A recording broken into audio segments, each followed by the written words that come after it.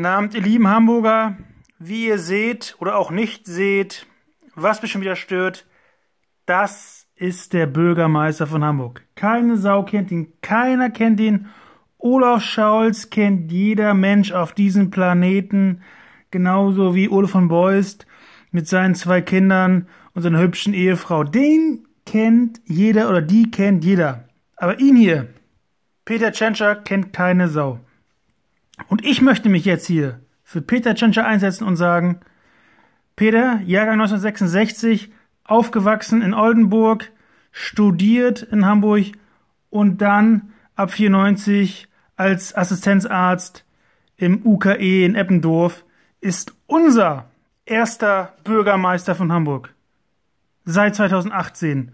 Und wer das immer noch nicht kapiert hat, das ist unser Peter Tschentscher. Olaf ist weg.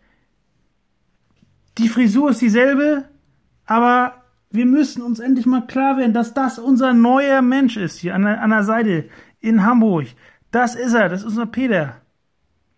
Leute, meine Güte, der ist so lange im Amt. Egal, egal wo ich sage, kennst du den neuen Bürgermeister von Hamburg? Nein, nein, nein, nein, nein, wer ist das, wer ist das, wer ist das? Will ich ein Bild von ihm zum Beispiel zeigen? Aus Spaß.